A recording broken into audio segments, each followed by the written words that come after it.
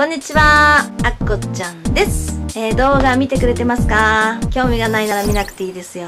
今日のことわざ You can take a horse to water, but you can't make him drink 馬を水際まで連れて行くことはできても馬に水を飲ませることはできないえー今日はですね、この間間違えて買ってしまいました、えーメモリを宣伝したいと思います。これなんです。えー私のパソコンはですね、この NEC のこの結構性能のいいやつなんですけどね、Windows。で、あの、メモリはデスクトップのを使えると思ったんです。それで 4GB のものが2本入ったこの 8GB のものを Amazon で購入しました。価格は約9500円ぐらいでそれから取り付けようと思いましたらこのパソコンはなんとノート用のメモリを搭載しているということが判明しまして全くの宝の持ち腐れになってしまいましたいつも焦って買っちゃうんですよよく調べもせずで今回こちらの正しいものを購入しましたのでこちらが必要なくなってしまいました。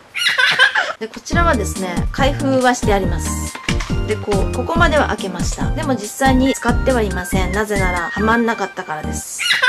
ということで未使用になります。